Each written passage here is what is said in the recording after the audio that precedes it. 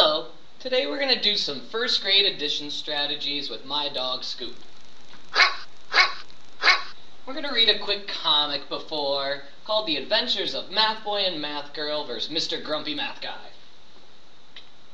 So Mr. Grumpy Math Guy says, "You to draw a 10, you must always draw a 10 frame because I says so."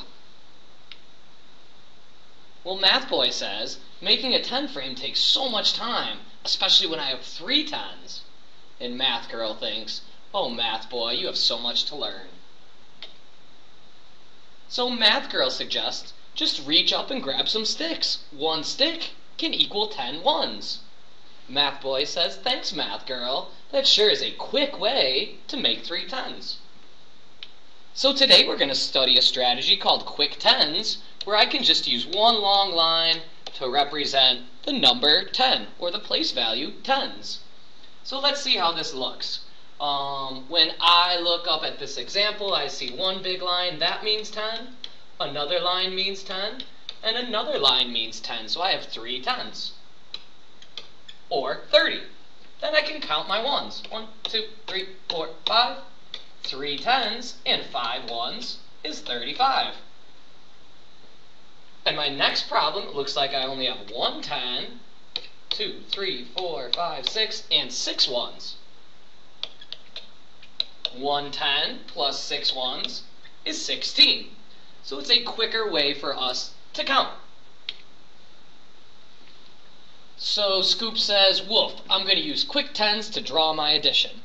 So for 14, I'm going to draw one 10 and four ones. For 25, I need to draw two quick tens to represent the 20, and five ones. And I'm going to make these ones look different. Now I want to group my tens together. So I have a 10, a 10, and a 10. So I have three tens, or 30, and then I can count my ones. 1, 2, 3, 4, 5, 6, 7, 8, 9. Three tens and nine ones make 39. I could also do this differently. I could be a little quicker and I could group my tens together. So I'm going to write my tens on one part and my ones on the other part. So for 18, I make one 10 and eight ones. When I make my eight ones, I'm still going to draw them like a 10 frame because I'm used to it. Now with 15, I know that's one 10 and five ones. With my five ones, I'm going to finish filling in my 10 frame and see what I have left over. Oh, so now that I have a 10 frame filled in, that really just makes another quick 10.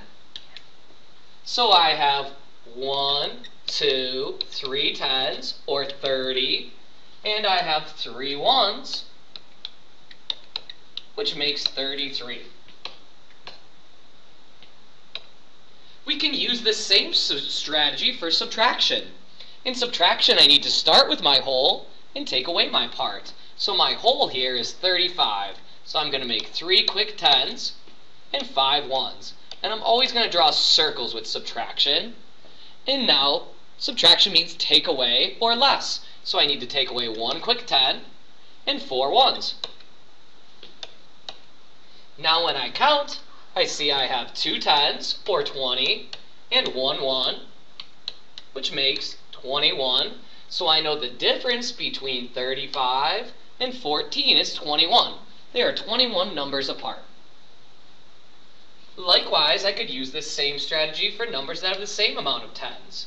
18 has one 10 and eight ones, and I'm going to make those eight ones in a 10 frame. And again, I want to take away 15, so I'm going to take away one 10, and I'm going to take away five ones, and I have three ones left. That's the difference between 15 and 18. Bonus time! If Scoop gets it right, she gets a treat.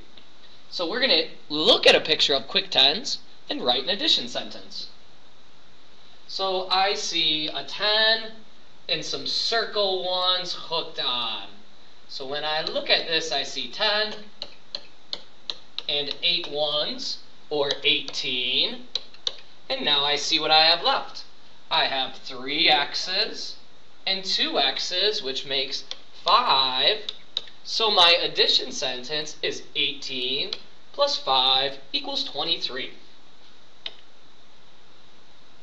And you can make quick tens anytime you want to do math that has numbers greater than 10 in it. In fact, Scoop likes to make quick tens so much, she rips sticks off trees. Have a good day.